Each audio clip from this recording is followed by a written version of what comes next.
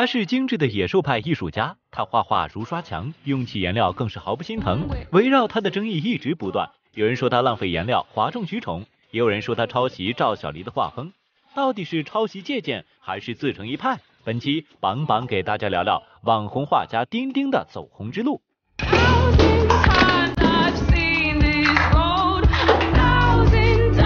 毕业于中央美术学院的丁丁，绘画实力毋庸置疑。不过，穿着白裙子、高跟鞋，画着全妆的丁丁，画起画来总觉得有点胆战心惊。每每看他泼颜料，都怕画板砸到他。随着画画过程的逐渐深入，现场由开始的净白变得杂乱不堪，摔颜料、烧玫瑰、折画笔更是常态。满地满身的颜料让网友看了皱紧眉毛。丁丁暴力野性的作画方式吸引不少网友关注，但谁又知道一开始的丁丁并不是如此肆意妄为。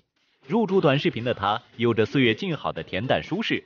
他有时像优雅的贵妇，安静坐在白色纱窗前，执笔轻描，伴着音乐，就着日落。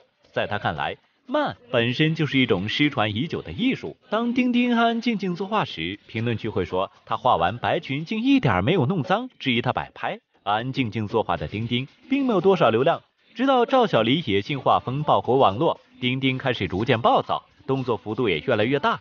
为了突破常规，自成一派，也为了视频流量，丁丁一条站在高处大胆泼洒颜料的视频，在获得几十万点赞后，丁丁拍摄风格、绘画基调基本定型。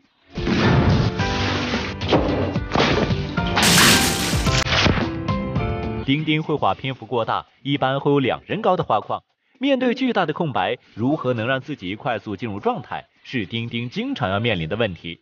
为了达到人画合一的境界，他想到了与画融为一体的办法。用桶泼颜料，就相当于丁丁与画板的对话。以海浪作衣，星空为发，丁丁的画作天马行空，也体现了自己对理想生活的向往。艺术家总有成魔时，画到忘我时，让他的身上哪哪都是颜料。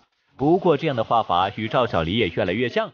对丁丁来说，围绕他的质疑层出不穷。有人质疑他的作画方式是作秀。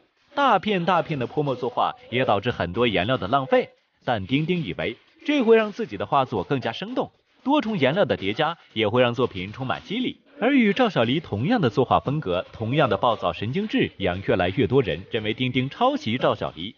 随着抄袭风波的愈演愈烈，丁丁作画风格也越来越暴躁。回应质疑的最好方式就是用实力正面瓦解质疑。在杭州富阳区，丁丁有着自己的工作室，里面摆满了自己创作的作品。还将自己作画的每条白裙子与画作放在一起留作纪念。